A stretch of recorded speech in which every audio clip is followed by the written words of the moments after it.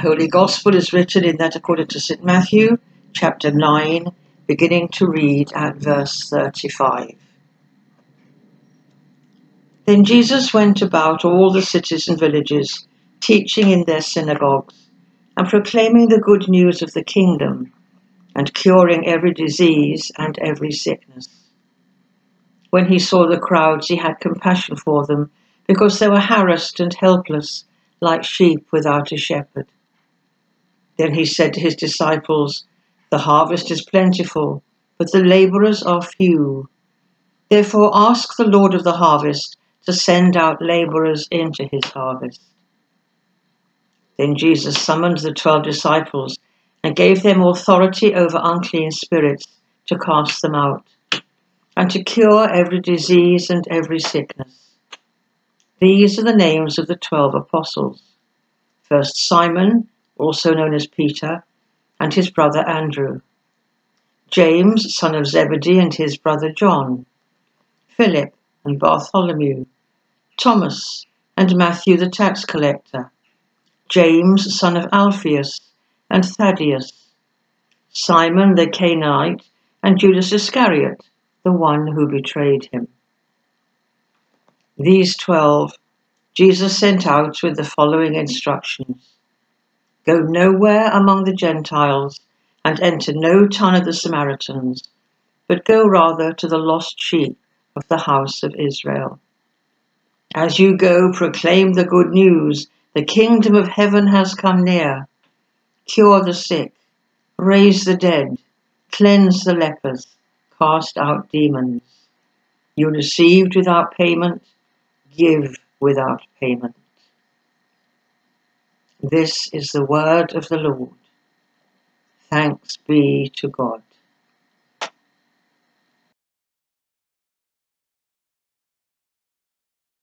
May I speak in the name of God, Father, Son, and Holy Spirit. Amen. Christians know that through the work of God in Christ, which has been made real to us through the Holy Spirit, the world is a different place. We are, to use Paul's famous phrase, justified by faith, and only by faith, not by anything we have done. So, what does that feel like? And what does that really mean? If you read Romans chapter 4, that's the one before the reading for this morning, you find a very long and complex theological explanation based on the absolute faith of Abraham explaining that this is not a new venture in God's relationship with us, but is in fact the way God has always dealt with us. He who believes in me shall never die, we read. Just by believing and trusting in God, we are in a right relationship with Him. So, what else does it mean to be justified by faith? According to Paul, it feels like the end of a war. We are at peace with God, putting Him at the heart of all that we do. Peace for Paul isn't just a feeling, but a real change. He has known what it's like to be at war with God, fighting against what he knew at some level deep down was God's work in Jesus. Paul had known what it was to be in an uneasy truce with God, trying to do God's will but failing over and over again. Peace with God is knowing that you are on the same side as God forever. Knowing that whatever you do or fail to do, you are ever at peace with God and with God's kingdom. So, the main characteristics of a justified Christian, according to Paul, is not a serene, I'm all right, folks smile, but hope. Your spiritual passport is stamped nationality Christian. And you know that that is the equivalent of saying nationality alive. And this relationship with God and God's kingdom isn't ours by right of birth or marriage or residence, but because of what God has done for us and by God's deciding through his infinite love that we are his people. And this puts a huge responsibility on our shoulders not to let him down by the way we act and behave and speak. Thy kingdom come. We pray it every day, don't we? And there is still so much to be done.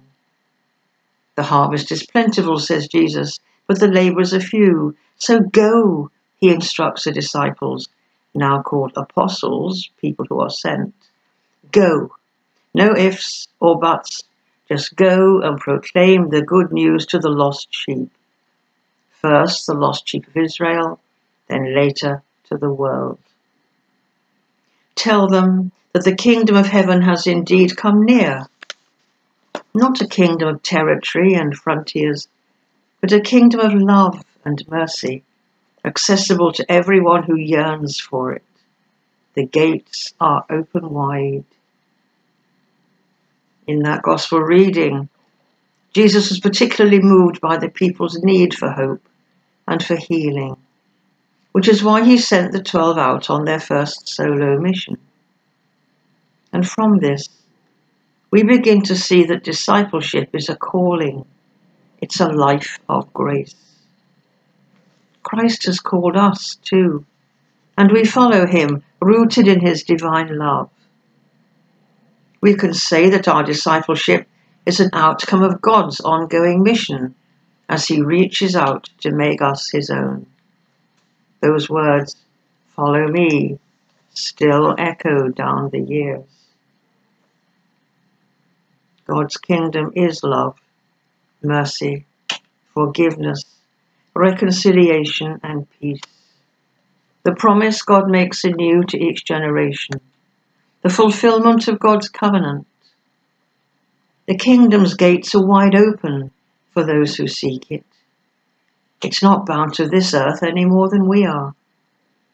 And if the crowds at Jesus' time were like sheep without a shepherd, the people of our world are hardly any less fearful and anxious.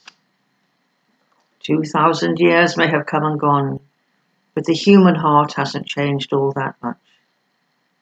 Our communities are still fractured by mistrust and suspicion, by violence and war which tear us apart. Diversity among different peoples doesn't seem to bring joy at the wonder of God's work in us, but becomes stumbling blocks understanding and harmony. And yet, you know, in the midst of all this, the kingdom has come near to each of us. Just think of the outpourings of love and generosity and practical help we have seen in the aftermath of the start of that dreadful war in Ukraine, in all the tragedies that come across us in life these days. People of all nationalities and religions coming together in adversity, to pray together, to work together, to try to relieve some measure of distress. The kingdom of God has come near to us. The harvest is indeed full and ready to be gathered in. So many people yearning to come to Christ, often without realizing it themselves. And as that Ethiopian ruler said to Philip in the Gaza desert that day, how can I understand what it's all about? unless someone explains it to me. It is up to us to do the explaining. I wonder where you think the fields are ripe to receive the spiritual nourishment that comes from God. We may not be able to physically go to cure the sick, raise the dead, cleanse the lepers, and cast out demons, but we who are justified and at peace with our Lord through our faith, we can pray. We can pray that the lost sheep of our world will indeed come to love and acknowledge our Lord and Saviour. May it be our daily prayer. Father, may thy kingdom come. Amen.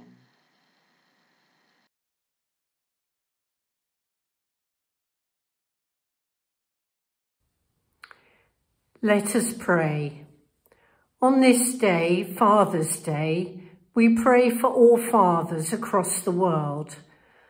Lord, give them wisdom, patience, and the ability to love in a way that reflects your love.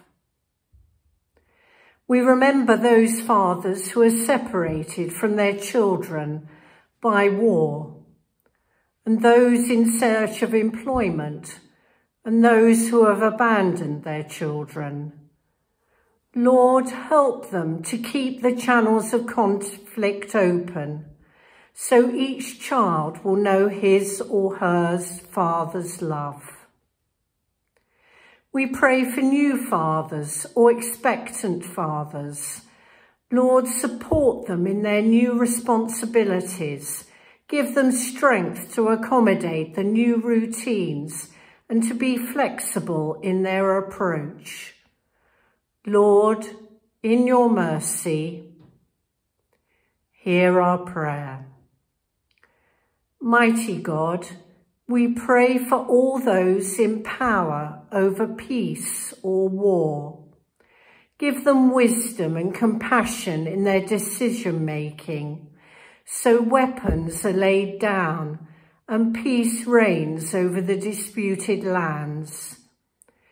We especially remember and pray for the peoples involved in the Ukraine-Russia conflict, Sudan, Myanmar, and others, and those living under oppressive regimes, including the people of North Korea. Lord, in your mercy, hear our prayer.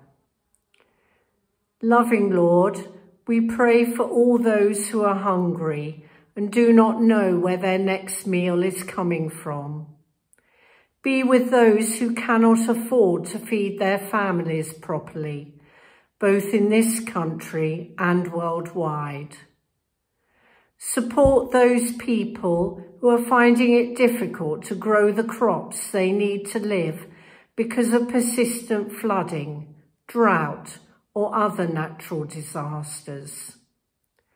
Lord, in your mercy, hear our prayer. Loving Lord, be near to all those who are sick. Give strength to those who are in pain. Surround those who are frightened with your tenderness. Give patience to those who are recovering and hold the weak in your loving arms. Lord, in your mercy, hear our prayer. Lord, hear us as we pray for those who have recently died. May they find peace and contentment in the kingdom of God. Today, we especially remember the three people who died in Nottingham earlier this week. We remember those who are mourning a loved one, and we ask you to surround them, Lord God, with your continuing compassion. Lord, in your mercy, hear our prayer. We finish our prayers by saying together the Lord's Prayer. Our Father, who art in heaven, hallowed be thy name. Thy kingdom come, thy will be done on earth as it is in heaven. Give us this day our daily bread, and forgive us our trespasses, as we forgive those who are trespassing against us. And lead us not into temptation, but deliver us from evil. For thine is the kingdom, the power and the glory, for ever and ever. Amen.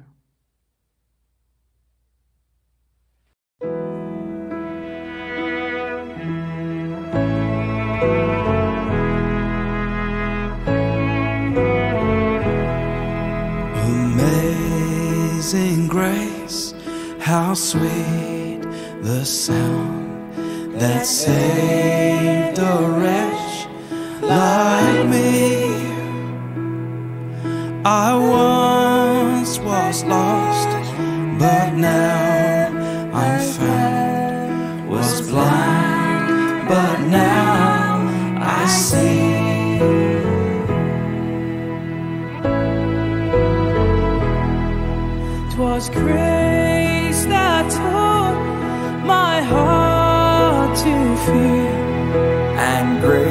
grace my fears relieved.